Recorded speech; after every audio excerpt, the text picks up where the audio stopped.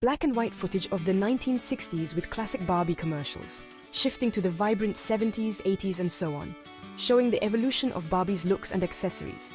Voiceover. Every decade, Barbie has adapted to the times. In the 60s, she was a mod fashionista.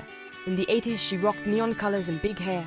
In the 2000s, she embraced diversity with dolls of all ethnicities, careers, and body types. Over a billion dolls sold, 200 plus careers, countless dreams. If you don't like dolls but still admire trailblazers, then you need to meet Barbie, the ultimate icon.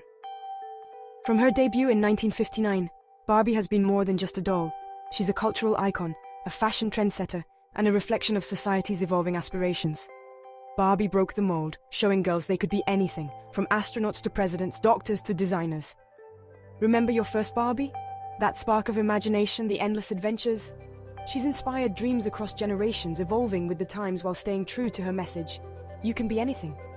Today, Barbie continues to push boundaries, celebrating diversity and empowering the next generation.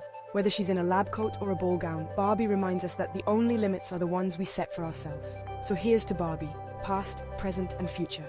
A symbol of endless possibilities and a legacy without end. Catch the latest chapter in Barbie's story, coming soon to a screen near you. The undying legacy of Barbie, a generational icon.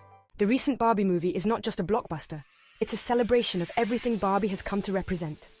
From empowerment to inclusivity, the film captures the essence of Barbie's journey and her impact on millions worldwide.